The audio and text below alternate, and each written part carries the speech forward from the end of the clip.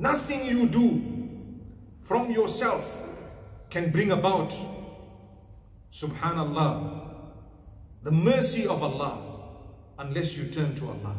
People are complaining it's too hot, the economy. You know, every day we complain about the economy.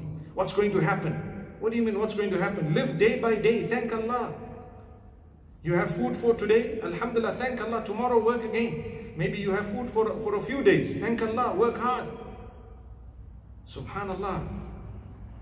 People say, if I die, what will happen to my children? I always say, perhaps Allah will create people who will look after them better than you did. It's possible. Subhanallah. So this is Allah. Number one, for a solution to any problem, turn to Allah. Turn to Allah. There is no chance that any problem of yours will be solved without turning to Allah. You know why? He is the maker, the owner of the money you're looking for. He is Allah to start with. If you get it without Allah in the picture, it will come with a curse. If you get it with Allah in the picture, whether it is more or less, it comes with barakah. It comes with contentment.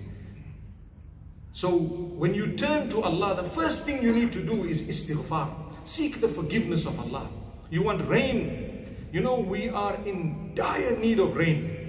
May Allah grant it to us. Ameen. But my beloved brothers, my sisters, that rain is such that if we have no rain, there is a problem, and if we have too much rain, there is a problem. We need a balance in the middle. So balance your life out, and Allah will give it to you. Subhanallah. We have to turn to Allah in istighfar. We have to seek the forgiveness of Allah. We have to improve ourselves as human beings.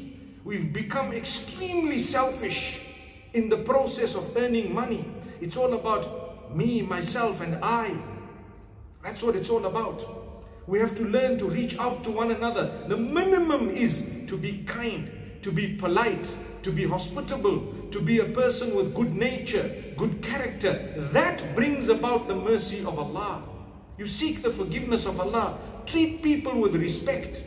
Be honest with them. Do good and upright business dealings. Then the mercy of Allah will come. What's the point of earning so much and inflation is eating all your wealth. There's something wrong with us as human beings. We are not reaching out to each other and we have not even sorted out our relationship with Allah.